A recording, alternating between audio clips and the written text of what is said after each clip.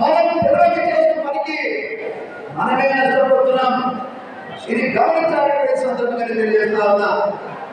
ఇవాళ ఎనభై లక్షల మంది ఉన్నటువంటి సుమారుగా ఎనభై శాతం మాది దళిత వర్గాల్లో ఎనభై శాతం మనం ఇవాళ ఒక రాజకీయంగా ఒక సీటు రావడం లేదు.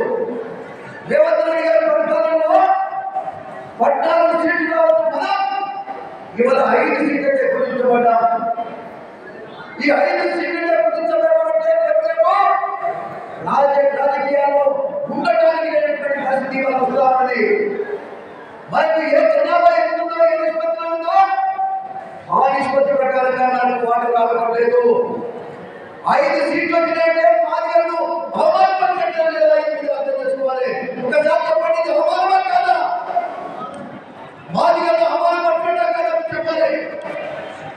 కాబట్టి ఈ అవమానపరిచినటువంటి విషయాన్ని నేర్చుకోవాల్సినటువంటి అవసరం ఉందని సందర్భంగా తెలియజేస్తా ఉన్నా.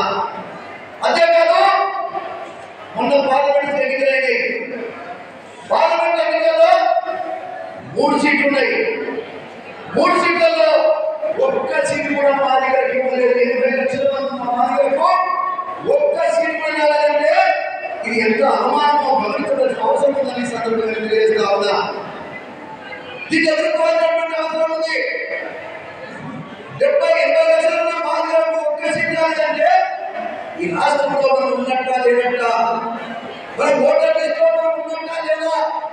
అంబేద్కర్ రిజర్వేషన్ మనకు రావడం లేదంటే రిజర్వేషన్ గురించి మనల్ని తీసేసినట్టు లేదా? ఇంకొక లేదంటే మీరు అర్థం చేసుకోండి సందర్భంగా తెలియజేస్తా ఉన్నా. ఈ విషయంలో ఆలోచించవలసిన అవసరం ఉంది.